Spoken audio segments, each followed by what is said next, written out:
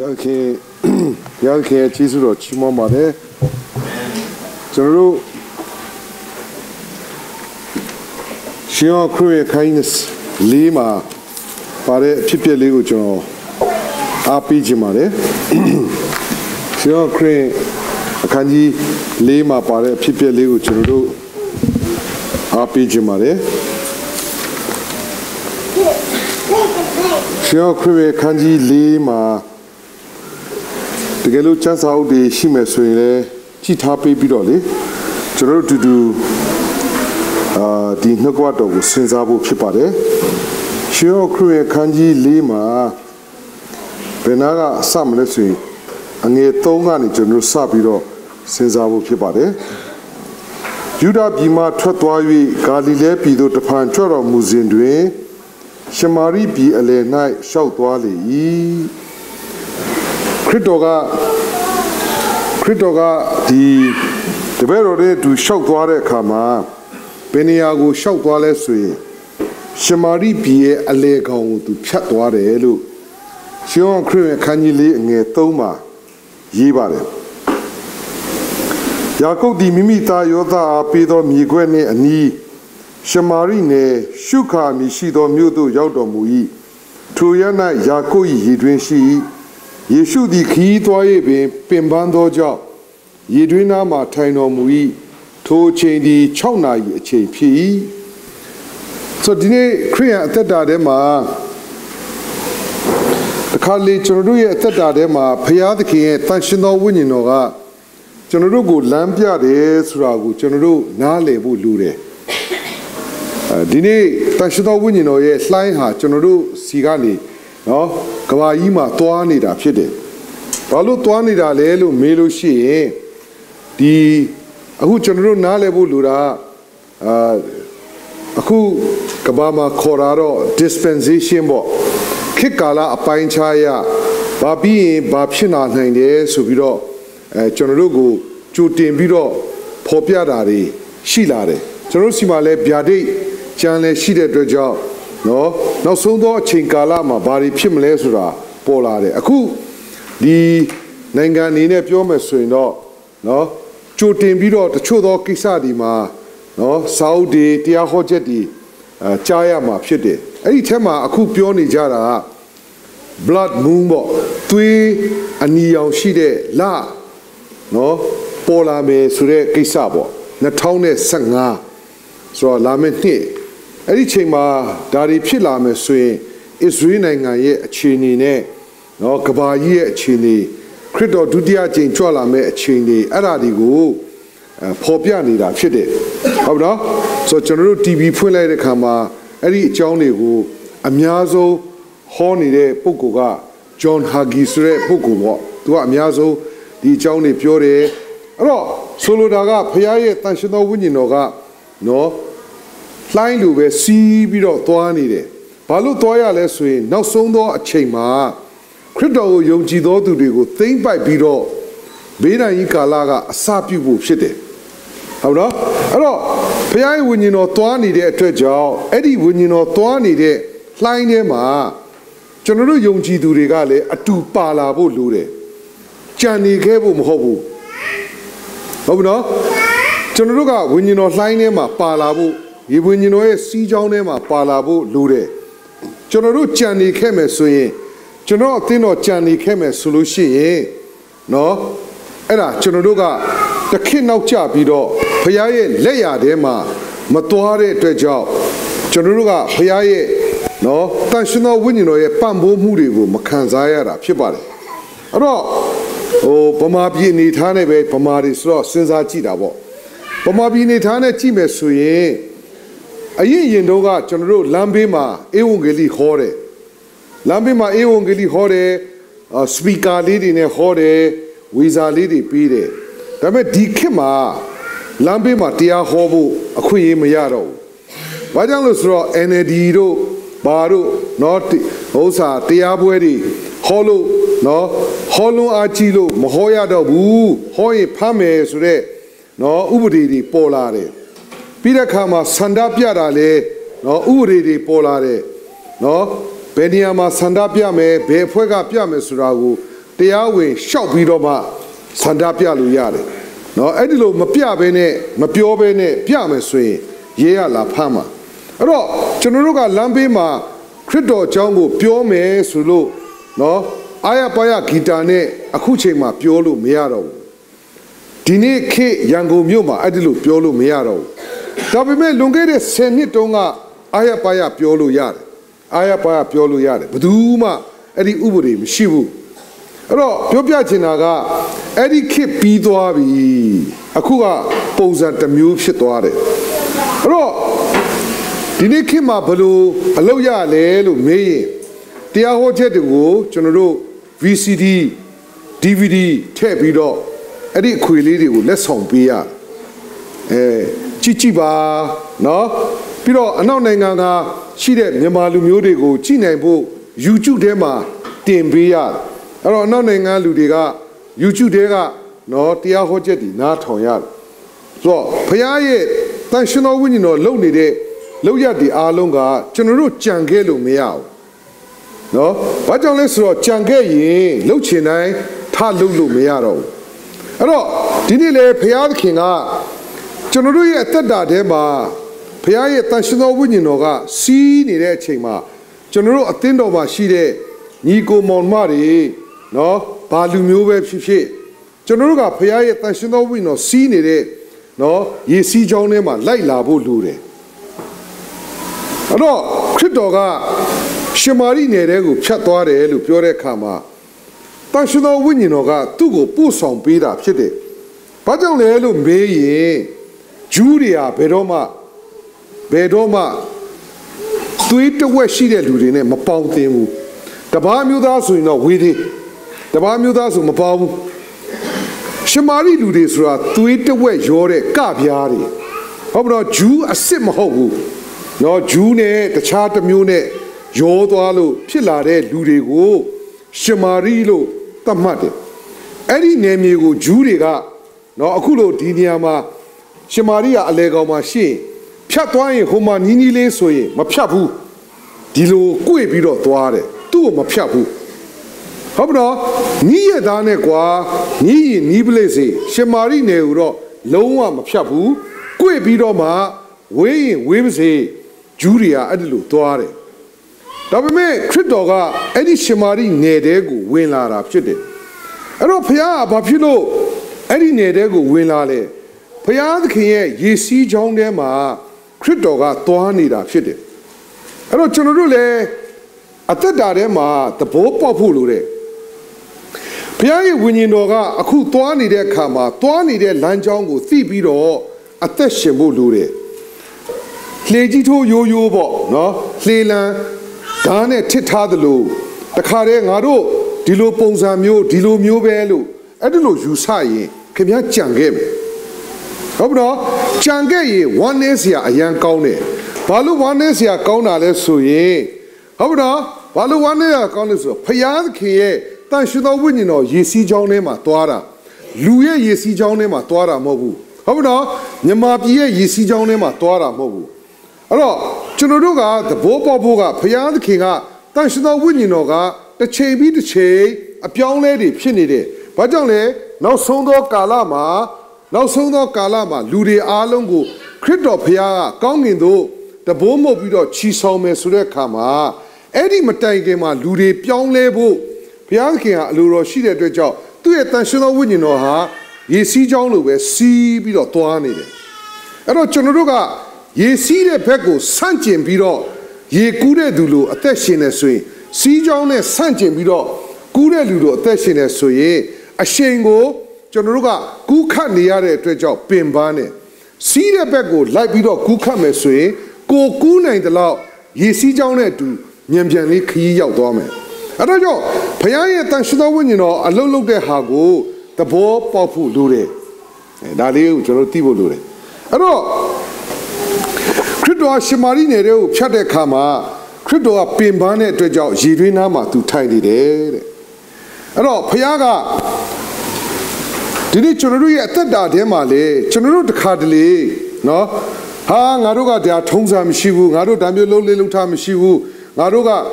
ရှေးမဆွတဲ့ကနော်ရှေးမဆွတဲ့ကနှစ်ချင်းกว่าဟုတ်တယ်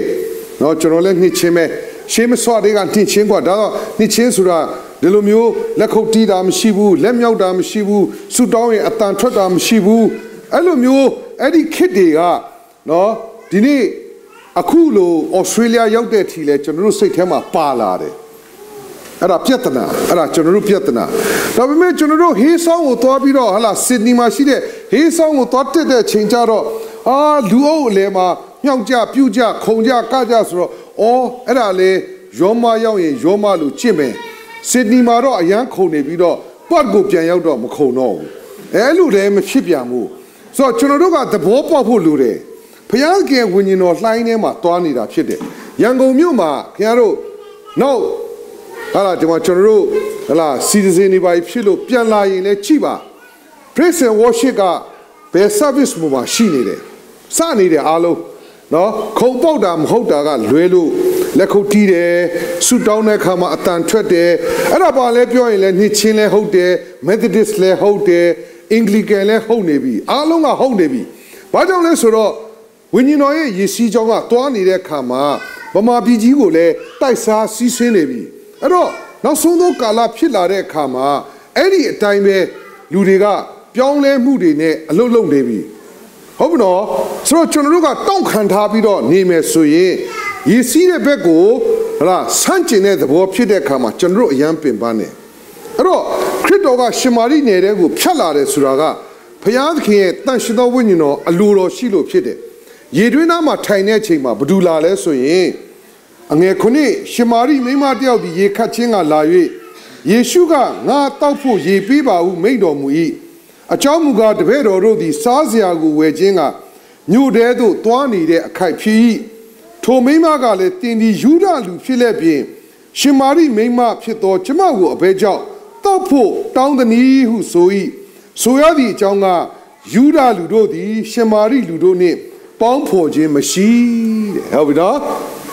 အေးဒါပေမဲ့ယေရှုခရစ်တော်ကဒါမျိုးမဟုတ်ဘူးတဲ့ရှမာရိမိမတယောက်ကရေလာခတ်တဲ့ခါမှာငါ့ကိုရေတစ်ခွက်ပေးပါရှမာရိကသူ့ကိုကြည့်တယ်ဟာရှင်ကယူဒဖြစ်ပြီးတော့ကျမရှမာရိဘာလို့ရေတောင်းတောက်တာလဲအဲဒါဆိုကျွန်တော်စောစောကပြောတဲ့သဘောတရားနားလည်ပြီနော်ဂျူးတွေဟာရှမာရိလူတွေကိုကပြားမျိုးတွေဆိုတော့အတုံးမတည့်ဘူးဒီလူတွေကမျိုးမစစ်ဘူးဒါကြောင့် သူ့နေတော်မဖြတ်ဘူးနော်စကားမပြောဘူးအဲ့တော့ယေရှုကနော်ရှင်မာရိကိုအမျိုးသမီးကိုရေတစ်ခွက်တောင်းတောက်တဲ့အခါမှာရှင်မာရိကဘာလို့ကျမကိုလာတောင်းတောက်တာလဲတဲ့အဲ့တော့ဒီနေ့ကျွန်တော်တို့အသက်တာထဲမှာ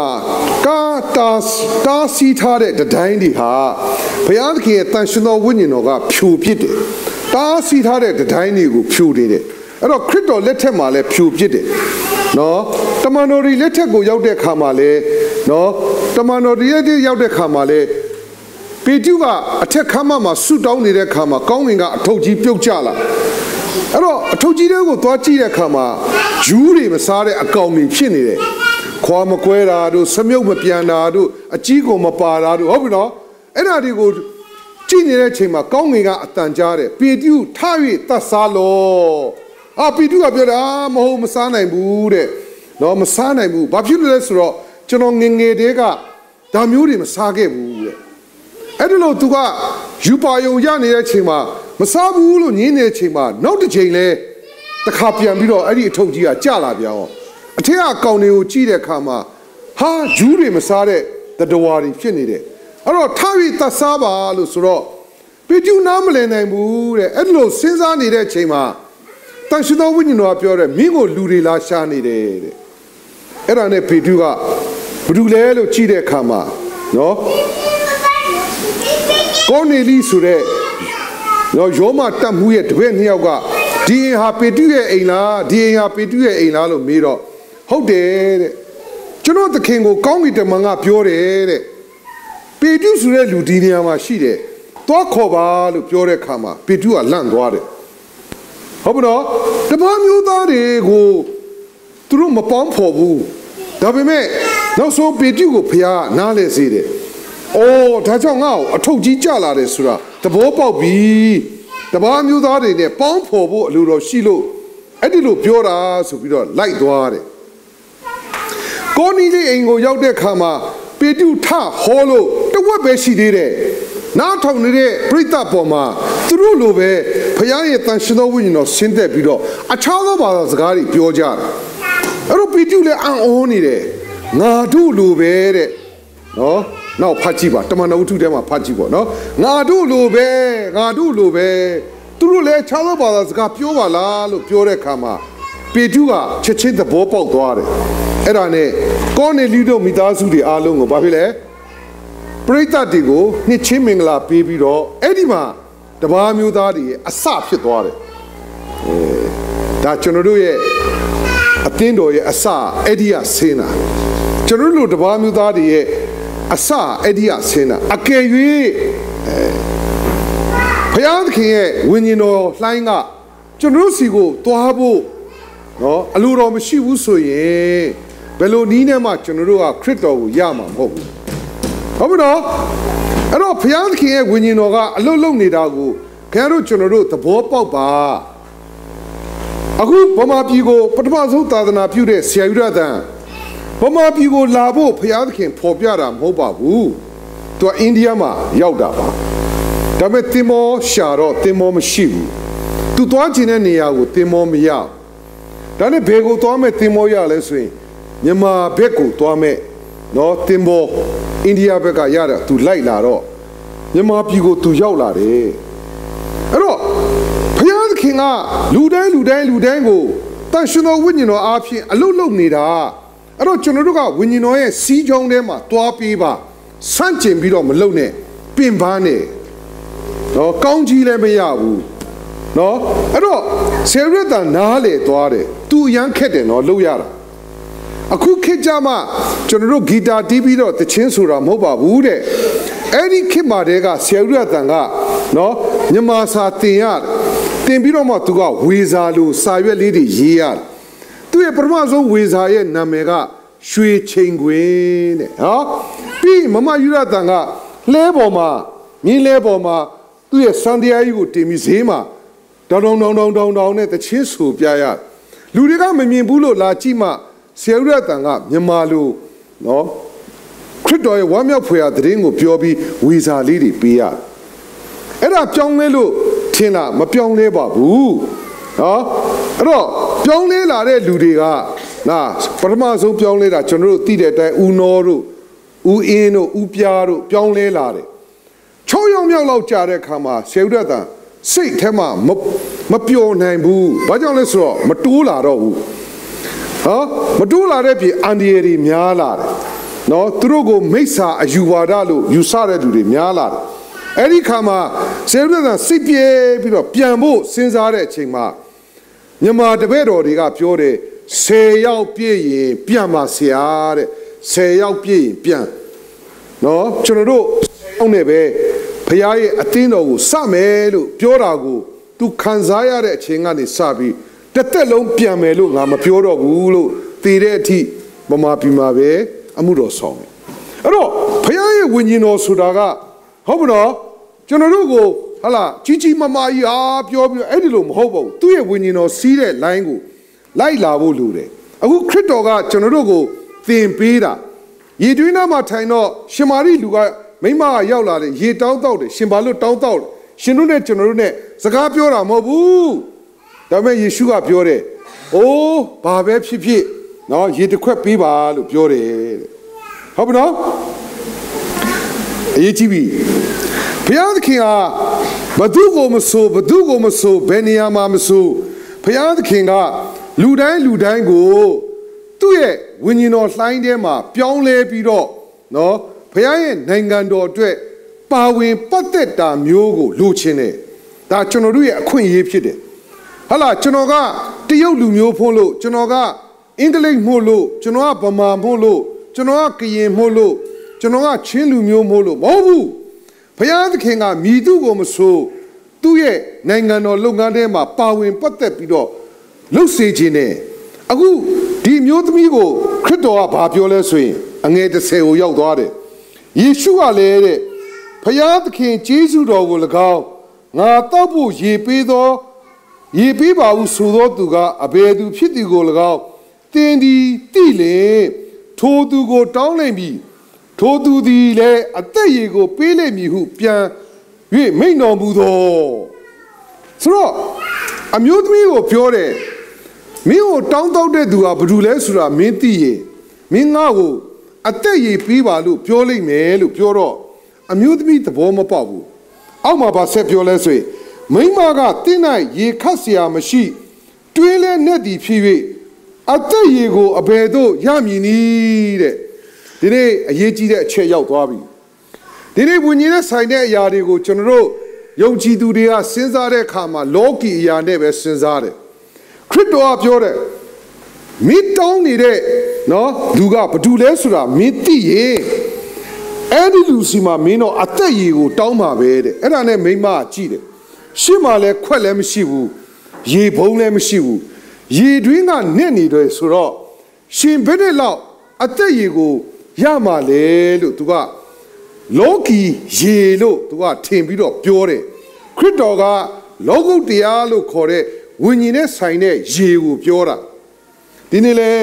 ချစ်တော်ကြီးကိုမောင်မတွေဘုရားเจ้าကိုလာကြတယ် Bible study တက်တယ်ဟုတ်ပါတော့လူတွေအားလုံးရဲ့ခေါင်းထဲမှာအုံနောက်စဉ်းစားနေတယ်။ဘာစဉ်းစားလဲဆိုရင်ဘလောက်ပဲဝิญဉ်ဟာတွေပဲပြောပြောခမည်းစဉ်းစားတာကလောကီလိုပဲစဉ်းစားနေတယ်။ အချိန်ကြာတယ်ဒီနေရာမှာလာထိုင်နေမဲ့တူတူဟလာ overtime ဆင်းလိုက်ရင်အခုလိုအားလိုက်ရဲ့ဆိုရင်နှဆရမယ်။အဲ့ဒါမျိုးတွေခမည်းစဉ်းစားနေမှာအမှန်ပဲ။ဟုတ်ပါတော့အကျိုးမရှိဘူး။အဲ့ဒါတွေလည်းပြောရင်လည်းပြောမယ်။ဟုတ်ပါတော့ပူတယ်ပြောရင်ပြောမယ်အေးတယ်ပြောရင်ပြောမယ်လာရတာဝေးတယ်ပြောရင်ပြောမယ်ဓာတ်စီကုန်တယ်ပြောရင်ခင်ဗျားပြောစရာတွေအများရှိတယ်ဘာကြောင့်လဲဆိုတော့ခင်ဗျားစဉ်းစားတာကဖခင်ရဲ့နိုင်ငံတော်လုပ်ငန်းကိုဘယ်တော့မှ ဇာတိသဘောနဲ့စဉ်းစားနေရင်အလုံးမဖြစ်ဘူးဟုတ်ပြီနော်အဲ့တော့ခရစ်တော်ကပြောတယ်မင်းကိုတောင်းတဲ့သူဟာဘာတူလဲဆိုတာမင်းသိရင်တဲ့သူ့စီမှာအသက်ရည်ကိုမင်းတောင်းပါပဲလို့ပြောတဲ့ခါမှာအမျိုးသမီးကသူ့ကိုကြည့်ပြီးတော့ရှစ်မှာလဲခွက်လည်းမရှိဘုံလည်းမရှိဘဲနဲ့ရေတွင်းကလည်းအနဲ့ကြီးနဲ့ဘင်းနဲ့ရေရမှာလဲဘင်းနဲ့အသက်ရေရမှာလဲအတွင်းတစ်ခုကအစင်မပြေဘူး အဲ့တော့ကျွန်တော်တို့လည်းလောကီလိုပဲတွေးနေတယ်ဆိုရင်ခမည်းဖရားရဲ့နစ်နေတဲ့အရာတွေကိုခမည်းရမှာမဟုတ်ဘူးအဲ့တော့ခမည်းခေါင်းထဲမှာစဉ်းစားတဲ့အရာတွေဟာနှုတ်ကပတော်ကိုလောကီလိုစဉ်းစားနေရင်နှုတ်ကပတော်တရားတွေကိုလောကီလိုစဉ်းစားနေရင်ဖရားကြောင်းထဲမှာလောကီလိုပဲစဉ်းစားနေရင်ခမည်းဟာနစ်နေသောဖရားရဲ့လှုပ်ဝက်တဲ့အရာတွေကိုခမည်းသိမှာမဟုတ်ဘူးဟာမသိတော့ဘာဖြစ်လဲအဲခမည်းရှုံးပြီပဲခမည်းရှုံးမယ်ပေါ့ မသိတော့ဘာဖြစ်လဲခမည်းရှုံးပြီပဲပေါ့ဒီနေ့ချစ်တော်ကြီးကိုမောင်မတွေရှုံးနေတဲ့လူတွေအများကြီးရှိတယ်ဟုတ်ပါနော်ကျွန်တော်မိတ်ဆွေကဟိုဘိတ်တဝဲကြောင်ကလောင်ထဲမှာသူကသွားပြီးတော့တက်တည်ခံတယ်ယေရှုကိုတီလားမလဲသူကတက်တည်ခံအာရပါယေရှုကိုတီလားဆိုဟိုလူကသူ့ကိုကြည့်ပြီးတော့ဩယေရှုဆိုတာတက်ထရွန်လားတဲ့တက်ထရက်လားတဲ့ဒါမှမဟုတ်ရင်တဲ့ အဲ့ဒီကျွန်တော်တို့ခေတ်တုန်းက11ဆိုတာတော့ပြော့အီအသားလေးလေအဲ့ဒါလားတဲ့မင်းလူချင်းရင်နဲ့ငါဒိုင်မှာမေးပေးမယ်အဲ့ဒီယေရှုဆိုတဲ့ပိဿဒိုင်မှာမေးပေးမယ်တဲ့မေးပြီးလို့ तू ကရှိတယ်ဆိုရင်ငါမနေ့ဖန်ကြရင်မင်းကိုအကြောင်းကြားမယ်သူစိတ်မှာထင်တာယေရှုဆိုတာပိတ်လိတ်အောင်မေ့နေတယ်ပိတ်လိတ်နာမည်ပိဿနာမည်အောင်မေ့တယ်အဲ့ဒါနဲ့ तू ကဒိုင်မှာမေးပေးမယ်ဟာ तू တော်လန့်သွားတယ်ဟာခမယေရှုဆိုတာတော့မသိဘူးမဟုတ်ဘူးလေပိဿဆိုရင်ဒိုင်မှာမေးပေးမယ် तू ကလည်းပြန်ပြောတယ်အဲ့တော့ဒီနေ့ယေရှုဆိုတာမသိတဲ့လူတွေဗမာပြည်မှာအများကြီးရှိတယ်ယုံရတာအခက်ကြီးဟုတ်နော်အဲ့တော့ဒီနေ့ခရစ်တော်ကိုတောင်မသိတဲ့သူတွေဟာဘလောက်ဝิญဉ်ရေးရမှာနောက်ကျမယ်ကဲစဉ်းစားကြည့်လေ ကျွန်တော်တို့ဒီမှာလာထိုင်တဲ့အချိန်မှာသူတော်ယေရှုကိုအင်ကြီးပိတ်ဆလို့ထင်တယ်ကုမ္ပဏီလို့ထင်တယ်အဲ့လိုထင်တဲ့လူရှိသေးတယ်အဲ့တော့ကျွန်တော်တို့သဘောပေါက်ဖို့လိုတယ်ကျွန်တော်တို့ဟာဂျေစုတော်ကြောင့်ဒီမှာလာထိုင်တဲ့အချိန်မှာရတဲ့နှုတ်ကပတ်တော်ကိုခင်ဗျားစဉ်းစားတဲ့အခါမှာလောကီလိုမစဉ်းစားဘဲနဲ့လောကုတ်တရားလို့ခေါ်တဲ့ဝိညာဉ်သဘောနဲ့စဉ်းစားဖို့လိုတယ်အဲ့ဒါဆိုရင်ခင်ဗျားမျက်စိမြန်မြန်ပွင့်မယ်သူကအဲအဲ့တော့ယေရှုကအဲ့ဒီလိုပြောပြီးတဲ့အခါမှာအမျိုးသမီးကပြောတယ် ထပ်ပြောတယ်နော်ကဲအငယ်73ကျွန်တော်တချို့ဟာလေးတွေကြော်ကြော်ပြီးတော့ဖတ်မယ်နော်ယေရှုကလည်းဤရေကိုတောက်တော်သူသည်နောက်တစ်ဖန်ရေငါအုံမည်ငါပြီးသောရေကိုတောက်တော်မူကားရေငါချင်းနှင့်အရှင်ကင်းလို့လိမ့်မည်ငါပြီးသောရေသည်ထိုသူ၌ထာဝရအသက်ရှင်ခြင်းအလို့ငါထွက်သောစမ်းရည်တွင်ဖြစ်လိမ့်မည်ဟုမိန့်တော်မူ၏မိမကလည်းသခင်အကျွန်ုပ်သည်ရေငတ်ခြင်းနှင့်၎င်း ဒီကိုလာ၍ရေခတ်ခြင်းနှင့်၎င်းကင်းလို့ရပါမည်ကြောင်းရေကိုပေးပါဟုတောင်းလေအဲလာပြီလာပြီယေရှုခရစ်တော်ဟာကျွန်တော်အထဲမှာရှိတဲ့ဘဝရဲ့ဘဝရဲ့ဖြစ်စဉ်အလုံးကိုသူသိတယ်ဒီမျိုးသမီးဟာဘာတူလဲဆိုတာသူသိတယ်အကယ်၍မင်းဟာတဲ့ငါငါဟာဘာတူလဲဆိုတာကိုသိရင်မင်းငါစီမှာတောင်းမယ်ငါပြီးတဲ့ရေကိုတောက်ရင်လေ ပေတော့မှရေမငတ်တော့ဘူးတဲ့အဲ့ဒါနဲ့မျိုးသမီးကချက်ချင်းပဲလောကလူပဲစဉ်းစားတာအောက်မလီဝမ်းတာလိုက်တာဒီနေရာကိုလာပြီးတော့ရေခတ်ရတယ်ဆိုတဲ့ဒုက္ခရေငတ်တယ်ဆိုတဲ့ဒုက္ခကင်းဝေးအောင်ခမားပြောတဲ့ရေကျွန်တော်ကိုပြီးပါတဲ့ဟာလာပြီသူကစဉ်းစားတာကရေတွင်းထဲကရေပဲစဉ်းစားတာယေရှုခရစ်တော်ကပြောတာကဝိညာဉ်သဘောနဲ့ ထာဝရအသက်နဲ့ဆိုင်တဲ့ရေကိုပြောတာဒါပေမဲ့မြို့သမီးကဒါပေမဲ့မြို့သမီးကကျွန်တော်တို့ရဲ့အသက်တာထဲမှာသဘောပေါက်တာဘာလဲဆိုရင်နော်သူ့ရဲ့အသက်တာထဲမှာသူလိုနေတာကိုခရစ်တော်သိတယ်သူလိုနေတာကိုသိတယ်ဒါအရေးကြီးတဲ့ချက်ဖြစ်တယ်အဲ့တော့ဒီနေ့ထိုင်နေတဲ့ညီကိုမောင်မတွေဝิญဉ်ရေးရမှာ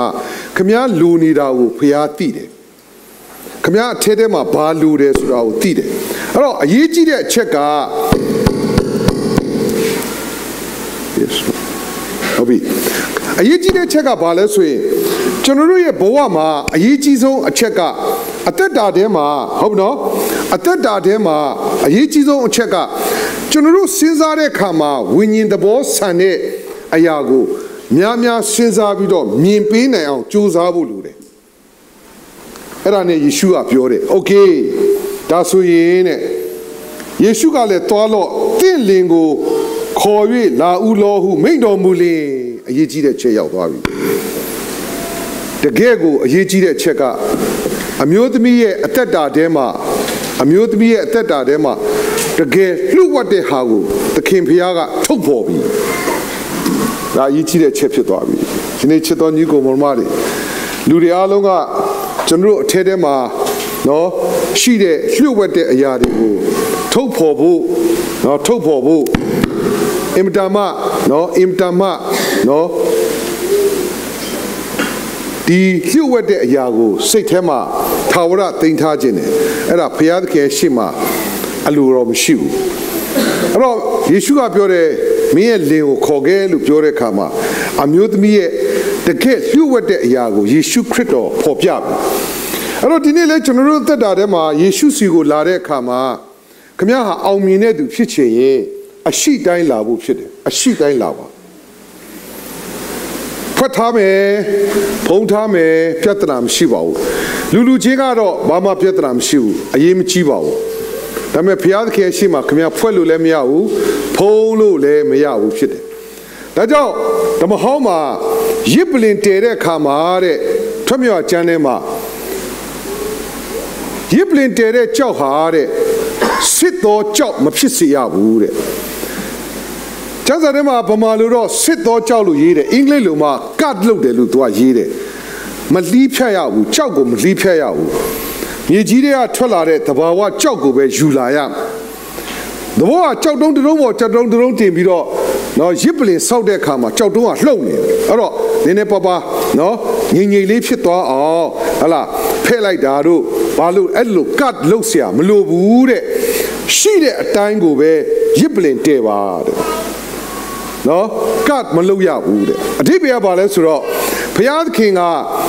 သူစီကိုရစ်ပလင်းလို့ခေါ်တဲ့ဘုရားနဲ့လူနဲ့ကြားထဲမှာဆက်တယ်တဲ့အခါမှာအရေးကြီးတဲ့ချက်ကဘာလဲအရှိတိုင်းပဲအရှိတိုင်းပဲ ခင်ဗျာဖះရှိမှလာကြွားလို့လည်းဘာမှမထူးပါဘူးဖုံးထားလို့လည်းမထူးပါဘူးဖះဟာစက်ကြဝဠာတစ်ခုလုံးကိုမြင်တော်မူသောဖះဖြစ်တယ်ဒါကြောင့်ဆာလံကပြောတယ်ကျွန်တော်ဟာတဲ့သမုတ်တရားတွေကိုဆင်းရင်လဲကိုရောမြင်ပါတယ်တဲ့ဟုတ်ပြီနော်မရဏနိုင်ငံကိုဆင်းသွားရင်လဲကိုရောရဲ့မျက်မှောက်တော်နဲ့မလွတ်ပါဘူးတဲ့ကျွန်တော်ဘယ်နေရာမှာနေနေကိုရောမျက်မှောက်တော်နဲ့မလွတ်ဘူးလို့ပြောတဲ့အတွက်ကြောင့်ယနေ့ကျွန်တော်တို့ရဲ့အသက်တာထဲမှာအရှိတိုင်း အရှိတိုင်းဘုရားသခင်စီကိုလာဖို့ရည်ကြီးတယ်အဲ့တော့စစ်တဲ့ကြောက်နဲ့မတုံးရဘူးတဲ့နောက်တစ်ခုကတန်တစားပါတဲ့ရစ်ပလင်ဟာညှဉ်းညူးတယ်အဓိပ္ပာယ်ကဘာလဲဆိုတော့တန်ဟာအဲ့ဒီခေတ်မှာဘာတုံးလဲဆိုရင်ဓာတ်တွေလှန်နေတုံးတာတဘောကရစ်ပလင်တဲတဲ့သူကတကူအာနာကြီးထွားဖို့ငါကနေရာရဖို့ငါအပေါ်မှာပဲနေမယ်ငါအမိတ်ကိုနာခံဖို့အဲ့ဒီလိုသဘောမျိုးနဲ့ ဖျားရှိမှရစ်ပူဇော်လို့ကတော့အဲ့ဒီရစ်ပလင်ဟာညှဉ်းညူးသွားပြီအဲ့တော့စစ်သောကြောက်ကိုမတုံရတန်တစားပါသောရစ်ပလင်ဟာညှဉ်းညူးတယ်တဲ့အဲ့တော့ဖျားနဲ့မိသားရဖွဲ့မဲ့ရစ်ပလင်ဟာဒီလိုပုံစံမျိုးဆောက်လို့မရဘူးဆိုတော့ဖျားရှိကိုကျွန်တော်တို့လာတဲ့အခါမှာအာနာတကိုးပြဖို့မဟုတ်ဘူးနေရာယူဖို့မဟုတ်ဘူးဘုရားရှိမှကျွန်တော်တို့ဟာအရှိတိုင်းပုပွင့်လင်းလင်းနဲ့တဘာဝတိုင်း ကိုရောရှိကိုလာဖို့ဖြစ်တယ်အဲ့တော့ဒီမျိုးသမီးကမင်းရဲ့ယောက်ျားကိုတောခေါ်ပါလို့ပြောတဲ့အခါမှာ तू ကဘာပြောလဲဆိုရင်အငယ်၁၉မိန်းမကလည်းအကျွန်ုပ်၌လင်မရှိပါဘူးဆိုလေယေရှုကလင်မရှိဘူးဆိုစကားသည်မှန်ဤအကြောင်းမူကားတင့်၌လင်၅ယောက်ရှိဘူးပြီယခုတင်နဲ့နေသောသူသည်တင်းဤလင်မဟုတ် ဤရာသည်တင်းသည်မှန်သောစကားကိုပြောပြီးဟုမိန်တော်မူ၏ချစ်တော်ညီကိုမောင်မတွေသဘောပေါက်ဖို့လိုတဲ့ဘုရားခင်ကခမည်းအရှိတိုင်းလာတဲ့ခါမှာသူအယံဝမ်းတာတယ်ဒီမိမဟာပြည့်တစားမဖြစ်တယ်လင်၅ယောက်ဆိုတာဟိုဘက်ခင်မှာဟိုဘက်ခင်မှာစဉ်းစားကြည့်လင်တယောက်ပဲယူရမှာ9ယောက်တောင်ယူထားတယ်ဆိုတော့ तू ဟာပြည့်တစားတာတာဖြစ်နေတယ်ဒါပေမဲ့မင်းလင်ရှိလားလို့မေးတော့ကျမမရှိပါဘူးလို့ နှလုံးထဲကအမှန်ဖြေတယ်အဲ့တော့အမှန်ဖြေတဲ့အခါမှာခရစ်တော်ကသူ့ကိုကြည့်တယ်အာမင်းအမှန်ဖြေတယ်တဲ့ဒီနေ့ heart to heart သိဖို့လိုတယ်အဲ့တော့ခရစ်တော်ကပြောမင်းမှာလင်9ယောက်ရှိတယ်ဒီနေ့ချစ်တော်ညီကိုမောင်မတွေဘုရားသခင်ရှေ့ကိုလာတဲ့အခါမှာအရှိတိုင်းလာပါနော်ဘုရားခင်ရှိမှကျွန်တော်တို့ဖုံးထားလို့ရတာမရှိပါဘူး။ကွယ်ထားလို့ရတာမရှိပါဘူး။ ခင်ဗျာနှလုံးသားထဲကရှိတဲ့အခြေအနေဘုရားကမြင်ပါတယ်။အဲ့တော့ခင်ဗျာရဲ့ရစ်ပလင်ကနော်စစ်ထားတဲ့ကြောက်နဲ့ခင်ဗျာအစင်ပြေအောင်လှုပ်ထားလားဘုရားရှိမှအစင်မပြေပါဘူး။တန်တစားတုံးထားတဲ့ရစ်ပလင်လားဘုရားရှိမှညှဉ်းညူးနေတယ်။အဲ့တော့ခင်ဗျာဘယ်လိုလုပ်ဘုရားနဲ့ဆက်သွယ်မလဲ။ အဲ့တော့ကဘာပေါ်မှာရှုံးနေတယ်ဘုရားကျောင်းတက်ပြီးရှုံးနေတဲ့သူတွေကဘာပေါ်မှာကျမ်းစာဖတ်ပြီးတော့ရှုံးနေတဲ့သူတွေကဘာပေါ်မှာဘုရားဆိုပြီးတော့အစာရှောင်နေတဲ့သူတွေရှုံးနေတဲ့သူတွေဒူးနဲ့ဒီဖြစ်နေတယ်ကျမ်းစာမှာပြောပြီးသားမင်းတို့ရဲ့အစာရှောင်တာကိုငါလက်မခံဘူးတဲ့အဲ့တော့ဘုရားသခင်ကဣတိလလူမျိုးတွေကိုအဲ့လိုပြောတယ်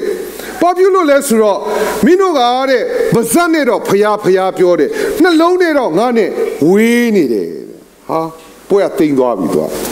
အဲ့တော့ပါဇက်ကပြောတိုင်းခင်ဗျသဘောပေါက်မယ်ထင်လားအဲ့တော့ကျွန်တော်တို့ကသဘောပေါက်ဖို့လိုတယ်အရှိတိုင်းဖျားသခင်စီကိုလာလိုက်ပါပြီးသွားပြီအဲ့တော့နောက်ဆုံးတစ်ခုရောက်သွားပြီเนาะနောက်ဆုံးတစ်ခုရောက်က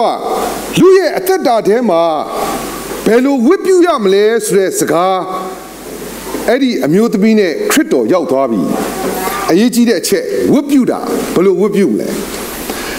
ငါတို့ဒီလိုပုံစံဝတ်ပြုမယ်ဟိုလိုပုံစံဝတ်ပြုမယ်ဒါကတော့တို့ရဲ့ထုံးစံပဲပြောလို့ရပါတယ်ကြိုက်တယ်လို့ပြောပါဒါပြဿနာမရှိဘူးเนาะဝတ်ပြုတာကဟလာဟလာနှစ်ချင်းပုံစံပဲဝတ်ပြုပြုအင်္ဂလိကန်ပုံစံပဲဝတ်ပြုပြုရိုမန်ကဲလိတ်ပုံစံပဲဝတ်ပြုပြုဝတ်ပြုတဲ့ပုံစံဘာဖြစ်ဖြစ်ပြဿနာမရှိဘူးပြဿနာရှိတာက ဝတ်ပြုခြင်းအားလုံးဟာဘုရားသခင်စီကိုတက်သွားဖို့ပဲလိုတာတက်သွားဖို့ပဲလိုတာအဲ့တော့မတက်သွားရင်ခမည်းဝတ်ပြုတာအလကားပဲအဲ့တော့နောက်ဆုံးပိတ်မှာဝတ်ပြုခြင်းနဲ့ဆိုင်တဲ့အရာကိုအဲ့ဒီအမျိုးသမီးနဲ့ခရစ်တော်နဲ့ဆွေးနွေးကြတယ်အဲ့တော့ခရစ်တော်ကပြောတယ်နော်မိမကစပြောတယ်အငယ်16ထိုမိမသည်လည်းသခင်ကိုတော်သည်ပရောဖက်ဖြစ်သည်ကိုအကျွန်ုပ်ရိပ်မိပါ၏ အကျွန်ုပ်တို့ဘိုးဘေးများသည်ဤတောင်ပေါ်မှာကိုးကွယ်လက်ရှိယေရုရှလင်မြို့၌သာကိုးကွယ်ရမည်ဟု တင်တို့သည်ဆိုတတ်၏ဟုရှောက်လင်အမျိုးသမီးကလည်းခေသူမဟုတ်ဘူးကျမတို့ဘိုးဘေးတွေကဤတောင်မှာပဲရှ िख ိုးတယ်တဲ့ရှင်တို့ကတော့ယေရုရှလင်မှာပဲရှ िख ိုးမှမှန်တယ်တဲ့စပြောပြီးရှင်တို့ကတော့ယေရုရှလင်မှာရှ िख ိုးတယ်ကျမတို့ဘိုးဘေးတွေကဒီတောင်ပေါ်မှာရှ िख ိုးတယ်တဲ့အဲ့တော့ယေရှုကဘာပြောလဲဆိုတော့ယေရှုကအချင်းမိမ့်မငါစကားကိုယုံလို့ ဤတောင်တို့မလားယေရုရှလင်မြို့သို့မသွားဘဲခမည်းတော်ကိုကိုးကွယ်ရမည့်အချိန်ကာလရောက်ဆဲရှိ၏အခုရောက်ဆဲပဲတဲ့ဆိုတော့ခရစ်တော်မှာဝတ်ပြုတယ်ဆိုတာကယေရုရှလင်မြို့မှာဝတ်ပြုနေတဲ့ထုံးတန်းအစဉ်လာနဲ့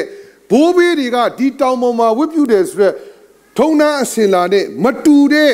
ဝတ်ပြုကိုးကွယ်ခြင်းဖြစ်တယ်လို့ယေရှုကစပြောပြီးသွားအဲ့တော့ချစ်တော်ညီကိုမောင်မတွေ ဘာပုံစံနဲ့ရှ िख ိုးရှ िख ိုးအရေးမကြီးဘူးဒါပေမဲ့ခရစ်တော်လိုချင်တဲ့နှလုံးသားမှန်တဲ့ဝတ်ပြုခြင်းမဖြစ်ရင်ခမရှုံးသွားပြီစန်ဒေးမှာဖျားရှိခိုးတာရှုံးသွားပြီအဲ့ဒါဒါကျွန်တော်တို့အပိုင်းပဲအဲ့တော့ခမ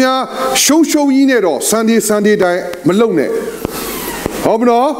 ရှုံးပြီးတော့မလုံနဲ့ အဲ့ဒါကျွန်တော်တို့သဘောပေါက်ဖို့ဖြစ်တယ်အဲ့တော့ယေရှုကသူ့ကိုနားလဲစေတယ်သင်တို့သည်ကိုမတိသောအချိန်ကာလကိုမတိသောအရာကိုကိုးကွယ်ကြ၏ငါတို့သည်ကိုတိသောအရာကိုကိုးကွယ်ကြ၏အကြောင်းမူကားယူဒလူတို့၌ကယ်တင်ခြင်းအကြောင်းရှိကိုးကွယ်သောသူမှန်သမျှတို့သည်ဘုရားကိုခမည်းတော်ဘုရားကိုနာဝိညာဉ်နှင့်၎င်းတစ္ဆာတရားနှင့်၎င်းကိုးကွယ်ရမည့်အချိန်ကာလသည်လာ၍ ယခုပင်ရောက်လက်ရှိ၏အခရစ်တော်စပြောပြီးဘယ်လိုကိုးကွယ်ရမလဲနာဝိညာဉ်နဲ့၎င်းသစ္စာနဲ့၎င်းကိုးကွယ်ပါတဲ့ဟုတ်ပြီနော်အဲ့တော့ဒီနေ့ကျွန်တော်တို့ live ထဲမှာအရေးကြီးတဲ့အချက်ရှိပြီအဒီအချက်ကဘာလဲဆိုတော့ယေရှုခရစ်တော်ကဒီနေရာမှာရှိတယ်ဟုတ်ပြီနော် ယေရှုခရစ်တော်ကဒီနေရာမှာရှိတယ်ယေရှုခရစ်တော်ကအလေကောင်မှာရှိတယ်ကိုးကွယ်သောသူဟာတစ္ဆာနဲ့ကိုးကွယ်ရမယ်ကိုးကွယ်သောသူဟာနာဝိညာဉ်ဖျားကိုတစ္ဆာနဲ့ကိုးကွယ်ရဟုတ်ပြီနော်အဲ့တော့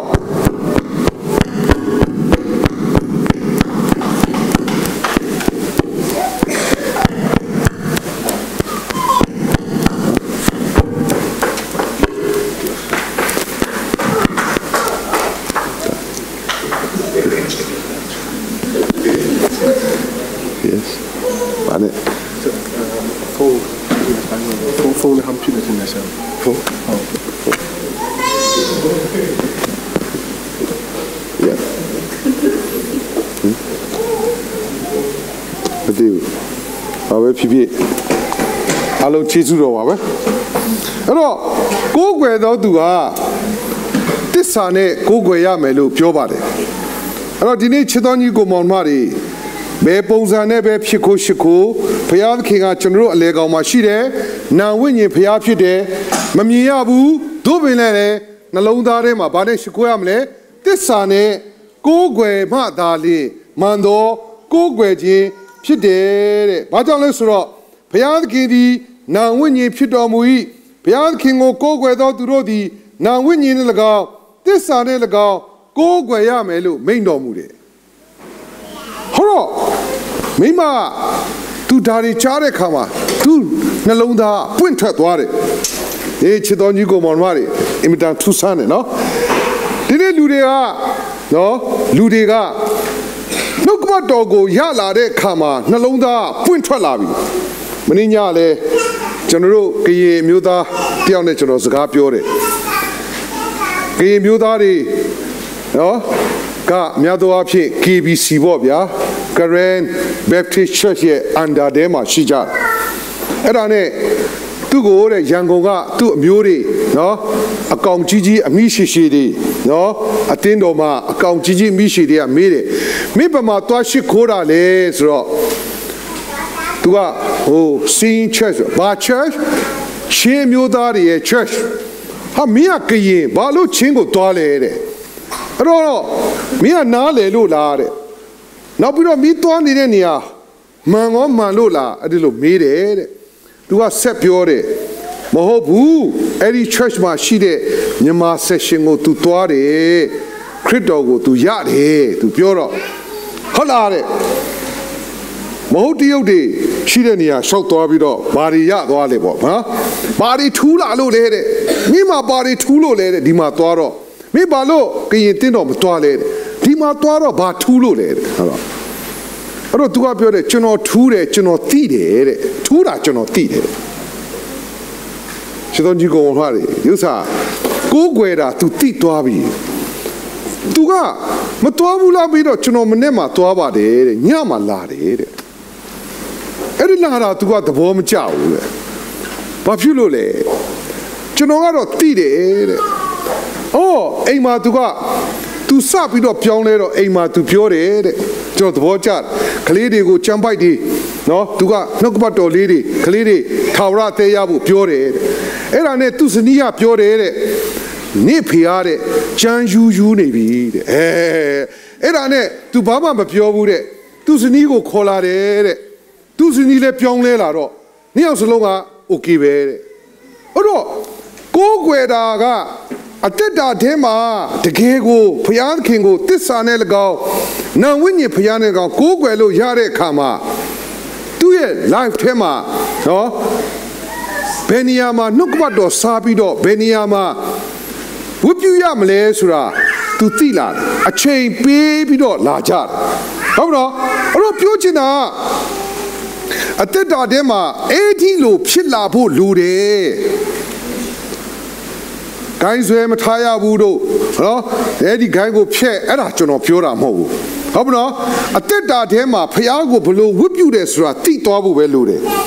အဲ့ဒီလိုသိသွားတဲ့အခါမှာအမျိုးသမီးကဘာဖြစ်လဲဆိုတော့ပထမဆုံးဖြစ်တာကျွန်တော်ဒီမှာကြော်ဖတ်ပေးမယ်နော်ပထမဆုံးဖြစ်တာကျွန်တော်ကြော်ဖတ်ပေးမယ်အငယ်25 မိမကလည်းမေရှိယကြွလာတော်မူသည်ကိုအကျွန်ုပ်သိပါ၏ရောက်တော်မူသောအခါအကျွန်ုပ်တို့အားအလုံးစုံကို ဖော်ပြတော်မူပါဟုရှောက်ပြန်၏မေရှိယနဲ့ကခရစ်တော်ဟုဆိုလိုသည်တဲ့မိမချက်ချစ်သဘောပေါက်သွားတယ်ငါတို့မျောလင့်နေတဲ့မေရှိယမင်းပါပဲလို့သူသိသွားတယ်အဲ့ဒါအရေးကြီးတဲ့အချက်ဖြစ်တယ်ဟုတ်ပြီနော်ကဲနောက်ဆုံးတစ်ချက် နောက်ဆုံးတစ်ချက်မှာပါကျွန်တော်တို့တွေ့ရလဲဆိုရင်အငယ်28ထိုမိမသည်လေရေအိုးကိုထားခဲ့၍မြို့ထဲသို့သွားပြီးလင်အကျွန်ုပ်ပြုဘူးသမျှသော အမှုတို့ကို ထုတ်ဖော်သော သူကိုလာ၍ကြည့်ရှုကြပါ ထိုသူသည်ခရစ်တော်မှလိမ့်မည်လောဟု လူများတို့အားဆိုသော သူတို့သည်မြို့တဲကထွက်၍အထံတော်သို့သွားကြ၏တဲ့ ရှင်တော်ကြီးကိုမောင်မတွေဒီမျိုးသမီးလာတာကရေခတ်ဖို့လာတာဘာနဲ့လာလဲဆိုတော့ရေအိုးအဲ့တော့ခရစ်တော်ကိုလည်းရသွားရောမေရှိယကိုလည်းတွေ့သွားရောရေအိုးကိုထားခဲ့ဟုတ်နော်ရေအိုးကိုထားခဲ့အရေးမကြီးတော့ဘူးသူ့ဘဝမှာရေအိုးဟာအရေးမကြီးတော့ဘူးအရင်တော့ကသူ့ဘဝမှာရေအိုးအရေးကြီးတယ်ဘာကြောင့်လဲဆိုတော့ယောက်ျား9ယောက်ယူတဲ့ မိမဖြစ်တဲ့အတွက်ကြောင့်လူများရေမခတ်တဲ့အချိန်မှာရေလာခတ်တာအဲ့လိုခတ်မှယေရှုနဲ့သွားတိုးတာလူများရေမခတ်တဲ့အချိန်မှာလူတွေကိုရေမဆိုင်ဝတ်လို့မခတ်တဲ့အချိန်ကြာမှ तू ကရေသွားခတ်တာအဲ့တော့ तू ကလည်းခဏခဏခတ်မှာမဟုတ်ဘူးဒီရေအိုးဟာသူ့အတွက်တနေ့စာလုံလောက်အောင် သူခတ်ပြီးတော့ယူသွားရဒီရေအိုးထဲမှာရှိတဲ့ရေမပါရင်ဒီနေ့ဖို့တောက်ဖို့ သုံးဖို့အဆင်မပြေဘူးအဲ့တော့ရေအိုးဟာသူ့ရဲ့ဘဝနဲ့ဆိုင်နေဟုတ်နော်သူ့ဘဝအတွက်အရေးကြီးတယ်ဒါပေမဲ့ခရစ်တော်ကိုရတဲ့အခါမှာအဲ့ဒါဟာအရေးမကြီးဘူးလို့ပြောတာမဟုတ်ဘူးအဲ့ဒါထက်အရေးကြီးတာကို तू လောက်ရမယ်ဆိုတာသိသွားတော့ရွာထဲမှာသွားပြီးလူတွေရဲ့ရှေ့မှာနော်ပြစ်ဒဇာမလို့နော်အပြိုးခံရတဲ့အသက်တာဖြစ်ပေမဲ့ မရှက်နိုင်တော့ဘူးတဲ့ငါမေရှိယကိုတွေ့ပြီနင်တို့လည်းတွေ့ချင်ရေတွင်းသားကိုသွားကြပါလို့ကြွေးကြော်တဲ့အခါမှာလူတွေသွားကြတယ်ဒီနေ့ခရစ်တော်ကိုရတဲ့သူတွေရဲ့အသက်တာဟာအဲ့ဒီလိုပဲရေအိုးကိုခွဲပစ်တာမဟုတ်ဘူးရေအိုးကိုထားခဲ့တာဒီထက်အရေးကြီးတဲ့နေရာကိုသွားဖို့ဒီထက်အရေးကြီးတဲ့အလုပ်ကိုလုပ်ဖို့သူ့ဘဝမှာစဉ်းစားလို့မိသွားတာ ရောက်ချစ်တော်ကြီးကိုမောင်မတွေစဉ်းစားရအောင်ခရစ်တော်ကိုတကယ်ရရင်ဖျားနဲ့ပတ်သက်လာရင်နံဝိညာဉ်ဖျားကိုဝိပုတာနဲ့ပတ်သက်လာရင်လောကမှာနံပါတ်1နေရာကိုဘယ်သူတွေထားတတ်လဲတကယ်ကိုဖျားကိုရတဲ့သူတွေပဲဖျားကိုနံဝိညာဉ်နဲ့ကိုးကွယ်တတ်တဲ့သူပဲပထမနေရာမှာထားတယ်လောကသားတွေပထမနေရာမှာမထားဘူး ဟုတ်တော့အိုးကိုထားခဲ့တယ်အိုးဟာသူ့အတွက်အရေးမကြီးဘူးလို့ပြောတာမဟုတ်ဘူးအိုးထက်အရေးကြီးတာ तू သိသွားပြီအဲ့တော့ခမည်းမှာကောအိုးထက်အရေးကြီးတာခမည်းတကယ်သိပြီလားအိုးထက်အရေးကြီးတဲ့ဝိပုမှုမျိုးကိုခမည်းတကယ်လုံနေပြီလားဟုတ်မနော်အိုးထက်အရေးကြီးတဲ့နံဝိညာဉ်ဖျားကိုခမည်းတကယ်တွေ့ပြီလားဒါအရေးကြီးတဲ့ချက်ဖြစ်တယ်အဲ့ဒါမဟုတ်ဘူးဆိုရင်ဘာသာတရားထဲမှာပုံမှန်လေးပဲ လုံနေတဲ့ပုံစံမျိုးဖြစ်နေတယ်သူကအဲ့ဒါတော့ဘာမှမခက်ပါဘူးဟုတ်နော်တချို့လူတွေကဖះเจ้าသွားပြီးမှဟုတ်မနော်တဏှာကိုထပ်သွားမယ်ဘာကြောင့်လဲအဲ့ဒီတဏှာကိုတော့ तू အရင်သွားခြင်းနဲ့ဒို့ပေမဲ့လည်းမကောင်းတတ်ဘူးဖះเจ้าတော့အရင်တက်လိုက်ပါအဲဒါမျိုးပေါ့နော် ဟုတ်ပြီနော်ဘာကြောင့်လဲဆိုရင်ဘုရားကျောင်းလာရတာက ထုံနှန်းအစင်လာလို့ဖြစ်ပြီးတော့ဒါလေးမလှုပ်လိုက်ရရင်အစင်မပြေတဲ့သဘောလေးဖြစ်နေလို့ပဲဘုရားကျောင်းလာတာအဲ့ဒါဟာကျွန်တော်တို့ရဲ့ life ထဲမှာမအောင်မြင်နိုင်ဘူးကျွန်တော်တို့ဟာတကယ်ကိုနာဝိညာဉ်ဘုရားကိုတကယ်ရပြီးတော့ကျွန်တော်တို့ရဲ့အိုးတွေအားလုံးကိုထားပြီးတော့သွားရဲတဲ့အသက်တာမျိုးမဟုတ်ဘူးသူကဟုတ်ပြီနော် အဲ့တော့ဒီနေ့လေဒီမှာရှိတဲ့ညီကိုမောင်နှမတွေဒီလိုအသက်တာမျိုးကိုဘုရားသခင်ကပိုင်ဆိုင်စေခြင်းနဲ့အဲ့တော့ပြစ်ဒစာဆိုတဲ့မိမကူတောင်မှဘုရားသခင်ကပြောင်းလဲစေခြင်းလွန်းလို့သူ့ရဲ့အသက်တာကိုကောင်းစားစေခြင်းလို့လို့ရှင်မာရိနယ်တဲကိုတယောက်တည်းဖြတ်ဝင်လာပြီးတော့ရေတွင်းသားမှာစောင့်နေတဲ့ခရစ်တော်ဖြစ်တယ်အတိဘယ်ကရှင်မာရိမိမကိုခရစ်တော်စိတ်ဝင်စားတယ် တယောက်သေးပဲစိတ်ဝင်စားလားတယောက်သေးပဲစိတ်ဝင်စားတယ်ဒီနေ့လေချစ်တော်ကြီးကိုမောင်မတယောက်စီတယောက်စီတယောက်စီကိုယေရှုခရစ်တော်စိတ်ဝင်စားတယ်သူကတော့ရှမာရိနယ်တဲကိုဖြတ်လာရမလားဂျူးတွေမသွားတဲ့နေရာကိုသူတယောက်သေးပဲဖြတ်လာတယ်လို့ပဲခမားစီကိုလည်းဘာအခက်ခဲတွေပဲရှိရှိဘာအတားအဆီးတွေပဲရှိရှိဖြတ်လာပြီးတော့ခမားကိုနံဝိညာဉ်ဖျားနဲ့တကယ်ဝတ်ပြုနိုင်အောင်သူလှုပ်ပေးခြင်းတယ် ဒါပေမဲ့ခင်ဗျားကအမှန်တိုင်းဖြေပေးပါမင်းလင်ကိုသွားခေါ်ပါလို့ပြောတဲ့ချိန်မှာဘာဖြစ်လဲမင်းလင်ကိုသွားခေါ်ပါလို့ပြောတဲ့ချိန်မှာကျမမှာလင်မရှိဘူးဆိုတော့အမှန်တရားကိုပြောပြဖို့လိုတယ်နှလုံးသားထဲမှာဖျားကျွန်တော်ကျမတကယ်ပါကိုတော်ကိုတကယ်ယုံကြည်ခြင်းနဲ့ကိုတော်ကိုတကယ်ဝတ်ပြုခြင်းနဲ့ဆိုတဲ့အမှန်တရားကိုအတွင်းထဲကနေထုတ်ပြပါအဲ့ဒါဆိုရင်ပွဲပြီးသွားပြီ အဲ့တော့ချစ်တော်ညီကိုမောင်နှမတွေဒီနေ့အသက်တာထဲမှာအဲ့ဒီအရာလေးတွေကိုဒီနေ့ခံယူနှလုံးသွင်း၍အောင်မြင်တဲ့ဝိပုကိုးကွယ်ခြင်းဝိပုကိုးကွယ်သောသူဖျားကြောင့်တက်တော်သူအဲ့ဒီလိုပုံစံမျိုးနဲ့ပါဝင်ဆင်နွှဲဖို့လိုတယ်ဆိုတဲ့အကြောင်းနှုတ်ကပတ်တော်နဲ့ဝေမျှခြင်းပါတယ်ခဏလေးဆုတောင်းရအောင်အဘဘုရားသခင်ကိုရော့ကိုထူပဲကျေးဇူးတင်တယ်ကိုရော့ကျေးဇူးတော်ကြောင့် ယနေ့သားသမီးရောက်တိုင်းတို့ရဲ့အသက်တာထဲမှာဘုရားကိုဘယ်လိုဝတ်ပြုရမလဲဆိုတာကိုနားလည်သွားနိုင်ဖို့ကောင်းကြီးပေးပါဘာသာရေးနဲ့ဝတ်ပြုနေတာမဟုတ်ပါဘူးထုံတန်းအစင်လာနဲ့ကျွန်တော်တို့ဝတ်ပြုနေတာမဟုတ်ပါဘူးကျွန်တော်တို့ဘယ်လိုပုံစံနဲ့ပဲရှ िख ိုးရှ िख ိုးခရစ်တော်ဟာနာဝိညာဉ်ဖျားဖြစ်တယ်အဲ့ဒီနာဝိညာဉ်ဖျားနဲ့ကျွန်တော်တို့ဟာတစ္ဆာတရားနဲ့ပေါင်းဖက်ပြီးတော့ရှ िख ိုးနိုင်တဲ့အသက်တာဖြစ် ကောင်းကြီးပေးပါမည်ကြောင်းလက်တော်ထဲမှာအ၍ချီးမွမ်းသောအခါယေရှုနာမ၌ဆုတောင်းဆက်ကပ်ကြပါ၏အာမင်